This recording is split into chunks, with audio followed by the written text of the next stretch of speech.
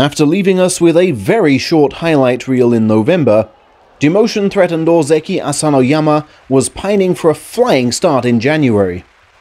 He didn't get one. The worrisome right shoulder impacted well, but his left was repelled, clearing Daieisho's path to the throat before this fine bicep pin broke his will. Clearly stung, the Ozeki took out his frustrations on Hokutofuji, forcing the pace with the right from the off and not even needing an outside left.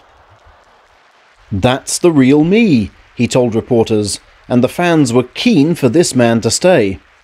But the real Asanoyama disappeared overnight, leaving this trembling impostor to run straight into Mitakeumi's arm block and beat a hasty retreat.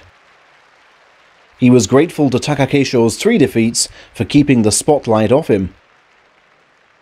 On day 4, free to focus on beating Onosho's left to the punch with an inside right, he looked markedly better. His fifth match was then gifted to him by Tochinoshin's misjudged slap.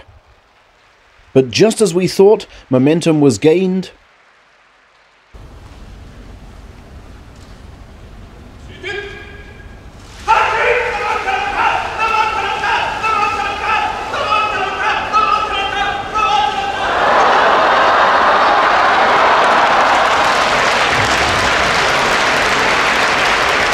Takarafuji locked the inside right to escape its clutches, then wriggled his own right inside the Ozeki's stooping frame, blocking off the outside left, but ensuring he secured his own.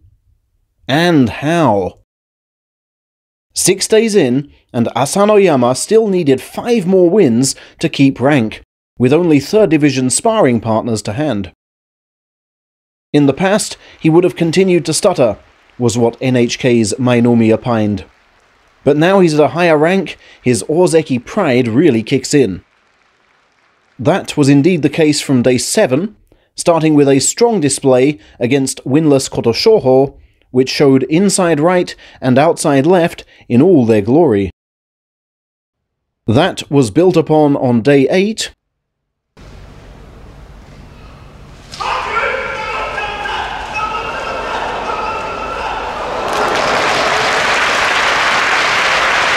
Endo, who memorably trounced him in their last encounter, missing his parry and hemmed in from the right.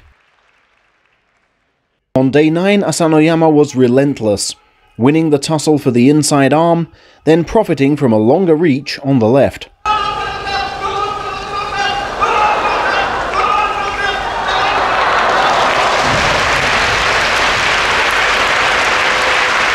And on day 10, a magnificent elbow pin and parry had high hipped Tamawashi reeling and ripe for falling into the Ozeki's desired shape.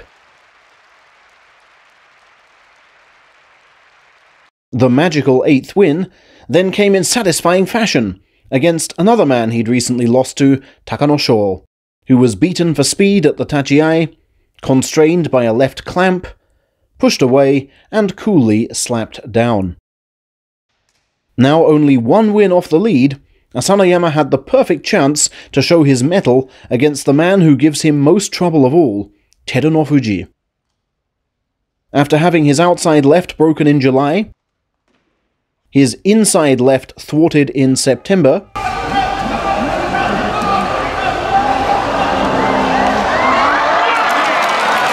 and his inside right mocked in November,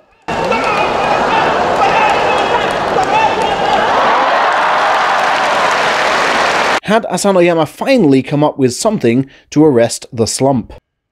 Perhaps a backward moving throw, as Chairman Hakkaku had suggested.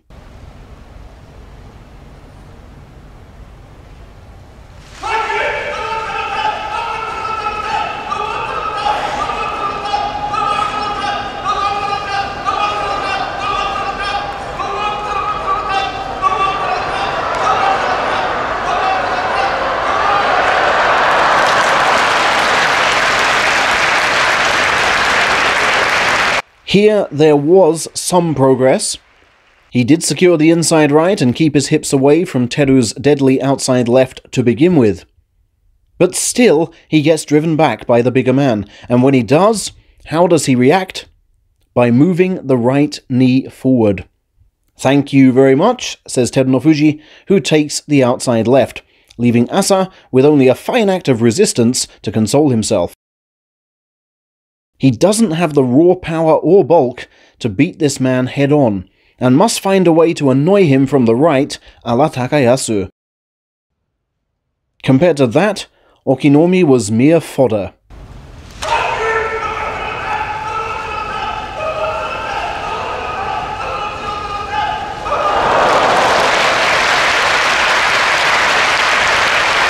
Meisei, despite beating him on the inside, left the outside unguarded for the slapdown. And Shodai was simply too kind to squash the referee, as you've likely already seen in the link above. That final day win took Asanoyama level with Shodai and Terunofuji in joint second, with his highest score since missing out on a second title last July. I wanted a good performance at the end to take into the next tournament, he said of the Shodai match. And I made sure to advance once I felt him retreat. I owe my good results to putting thoughts of demotion to the back of my mind and just continuing with my style of sumo. But since that final day interview, he's vowed to vary things up and tailor his game plan better to specific foes.